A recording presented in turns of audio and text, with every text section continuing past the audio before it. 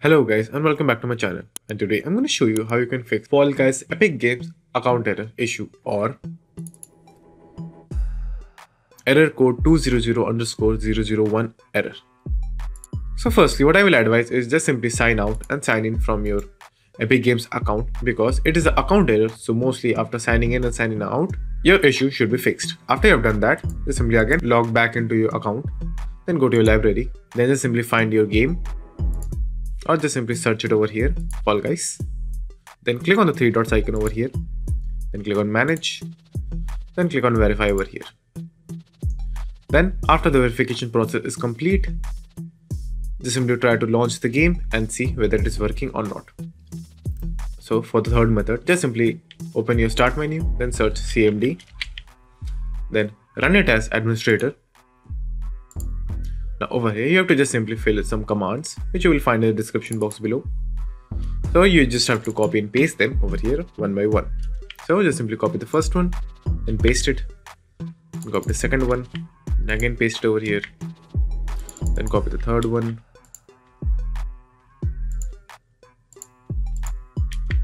And then in the end just simply press exit. And please make sure to give 2 second gap between entering the codes. So after doing that, just simply press exit, then enter. Now just simply restart your computer. So after the restart, just simply check whether your game is working or not. And for some reason, if it is still not working, just simply do the next step. Then just simply click on your start icon.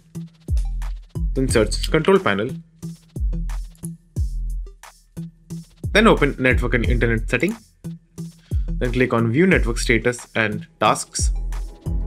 Then click on change adapter settings. Now choose whichever medium you're using to access internet, either Wi-Fi or direct internet cable itself. Just simply pick one of them, whichever you're using, then right click on it, then click properties. Then just simply click on internet protocol version 4. Now over here just simply choose use the following DNS address.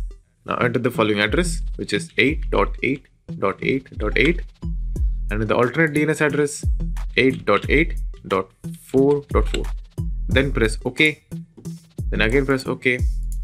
Then just again restart your computer. And after the restart your issue should be fixed. And for some reason if you're still not able to log in into your game what i will advise is just simply create a new account because it is an account error. So it is related to epic games account. So i will advise just simply create a new account and try it again. Or what you can do is just simply contact the fall guys epic game support team from over here and tell them about what problem you're facing and hopefully they will fix that problem for you. But in most of the cases, by doing the following methods shown in this video, your issue should be fixed.